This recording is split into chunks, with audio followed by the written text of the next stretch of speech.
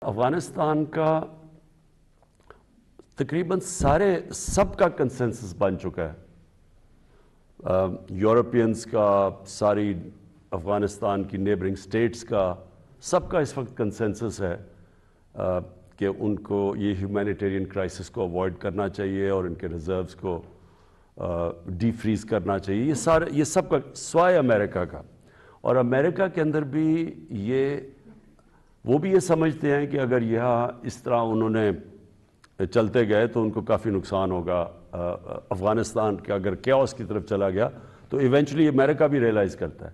لیکن امریکہ اپنی domestic compulsions کی وجہ سے پھنسا ہوا ہے۔ رشیا چائنا جن جن سے بھی ہم ملے ہیں، ان میں سب میں بڑی کلیئرٹی ہے کہ افغانستان کو ڈسینڈ نہیں ہونا چاہیے انٹو کیوس تو اس میں جو ہماری پہلے دن سے پوزیشن تھی، پہلے تو شروع میں بڑے گارڈڈ تھے جب جب طالبان کا، کیونکہ ایکچولی سب ہی شوق میں تھے، لیکن آہستہ آہستہ سارے اس پوزیشن کے اوپر آ گئے جو ہماری پہلے دن سے تھی۔